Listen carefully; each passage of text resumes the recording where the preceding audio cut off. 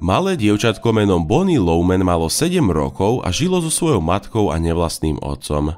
Predstavte si, že uvidíte svoju fotografiu na plagáte, ktorý zobrazuje nezvestnú osobu. Boli by ste úplne šokovaní a zmetení. Preto nie je prekvapujúce, že aj Bonnie bola z toho poriadne zmetená. Sedemročné dievčatko sa len prizeralo na svoju fotografiu.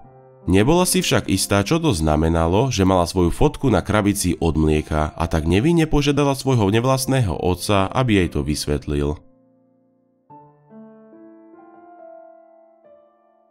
Jej nevlastný otec súhlasil, avšak netušil, čo sa bude diať ďalej. Všetko sa to začalo 25.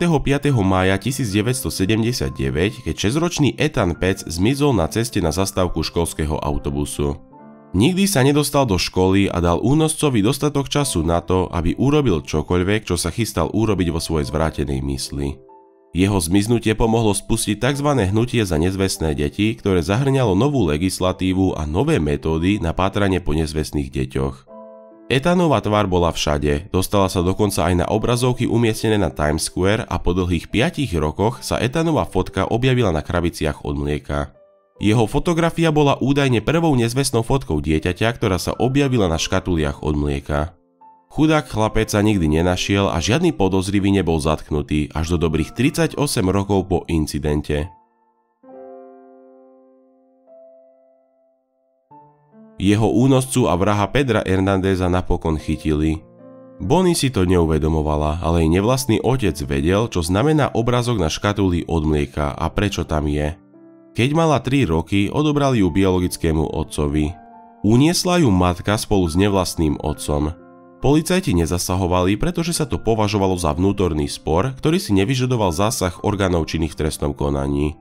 Bonín otec mal zlomené srdce, ale nebol beznádejný. Vedel, že dostane svoju dceru späť do svojej starostlivosti. Bola to jeho viera v Boha a v jeho čisté úmysly, čo je pravdepodobne dôvod, prečo sa táto správa šírila rýchlosťou blesku cez škatule od mlieka a nakoniec sa dostala k Bonnie o 4 roky neskôr. Jej nevlastný otec jej prísne nariadil, aby túto fotografiu nikomu neukazovala z pochopiteľných dôvodov, pretože by to odhalilo jeho diabolské plány a spôsobilo problémy jemu a jeho manželke. Bonnie tak nevinná, ako sa dá očakávať od každého 7-ročného dieťaťa, nechala krabicu od mlieka so svojou fotografiou v košíku na hračky. Bonnie, ktorá si neuvedomovala dôležitosť histórie škatulky od mlieka, ju nechtiac zabudla u svojej susedky. Jej susedka hneď ako sa pozrela na škatuľu, kde bola jej fotografia, si uvedomila, že úbohé dieťa bolo obeťou a niekde vonku ju hľada zúfalý rodič. Nestrácala ani minútu a celú situáciu nahrala pre políciu. Policajti zasiahli a nakoniec Bonnie priviedli späť k svojmu biologickému otcovi.